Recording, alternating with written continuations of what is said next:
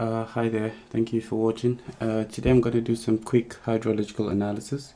Uh, I'm, I'm going to be I'm going to derive some uh, hydrological features like the basins and watershed. Uh, basically, what the basin is is just a delineation between the ridge lines in your study area.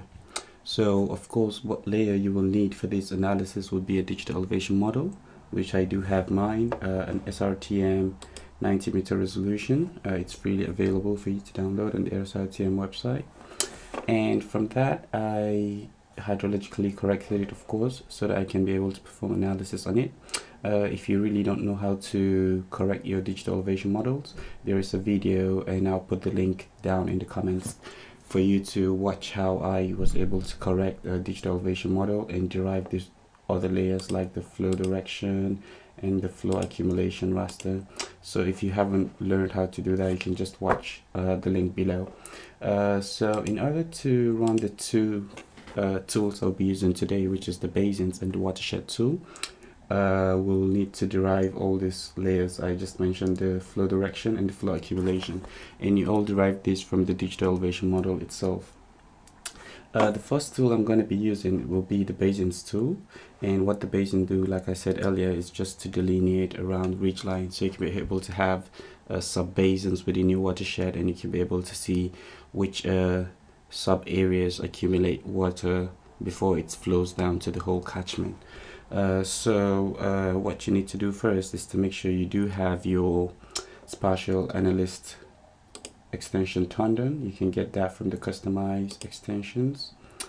And I do have mine activated already. It's here spatial analyst. You should check the box if you don't have yours checked. Uh, and after that what I like to do is use the search bar. It's much more friendly and easier to use. I can just search for the tool I want to use which is basin. And um, here's the basin tool. When you click on that it brings up this interface and what it needs is the flow direction raster. And with the flow direction raster you can be able to uh, delineate all the basins within my surface area. I'm just let, gonna let it go to the default geodatabase and rename it to basins. And then I click on OK. Hopefully it shouldn't take too long to run. And um, we're just gonna wait and see so like I said, uh, all of this type, uh, kind of hydrological features can be used in different applications like uh, water utility, water resource management and other things like that and other kind of modeling actually uh, like flood risk modeling and stuff like that. And here we go we do have the basins color coded in the default color ramp. Uh, I will just invoke the symbology layer by double clicking on the basins and go to the symbology tab and change it to much more nicer looking color so we can be able to differentiate between the basins within uh, the surface area. So all these are basins uh, that holds water for some time before it flows down to the final uh, watershed catchment. So all of these are basins and you can use this to determine how much water has been uh, accumulated within each basin. And like I said this can be used in several sort of models and that's it for the basins uh, the next thing I want to show you guys within this video is how to delineate watershed or a catchment area. Uh, there are some few steps to go through before you can do this. First of all you need to let me just take this off. You will need to uh, assign a pour point and the pour point needs to be in your outlet. Your outlet here means the area or the pixel that accumulates all the water within your surface area or within your study area you're looking at.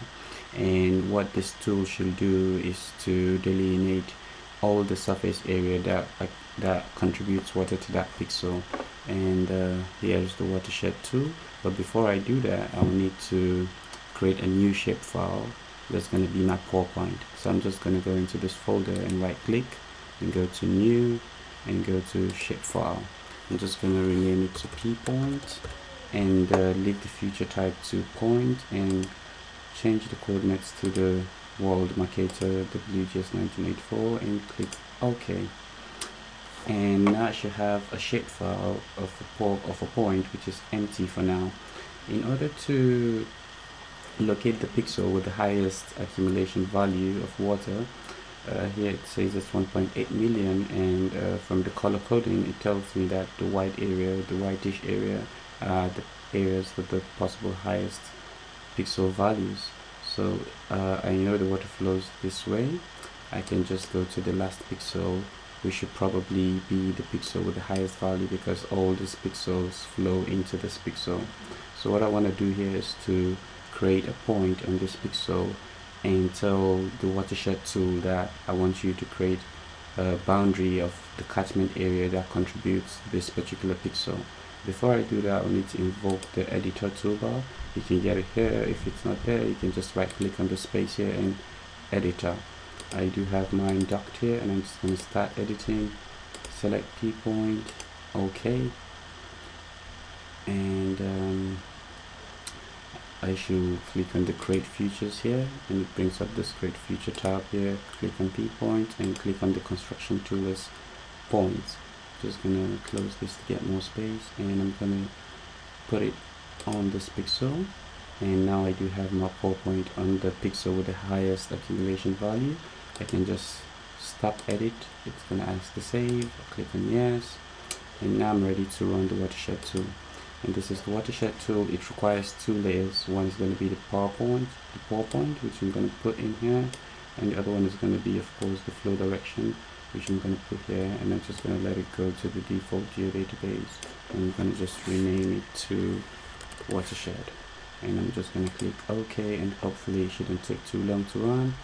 And what is going to do it's going to bring up a new raster file just delineating the whole area or the whole catchment area that's contributing to this what to this particular point we just defined and again like I said this uh, can now be used to narrow down your case study to a particular watershed or catchment or for people who model uh, flooding can use this uh, in terms of determining uh, if actually watershed catchments are one of the contributing factors to flood into a particular area. So you can do all sort of stuff with uh, with something like this. So this is my beautifully delineated watershed. Uh, you could do all sort of stuff like this. You could uh, change it uh, you could convert this raster data to a shape file so they can calculate the total area of this catchment area. And that's it for this video. Thank you very much for watching. I hope you liked it. And if you do please hit the like button below. Thank you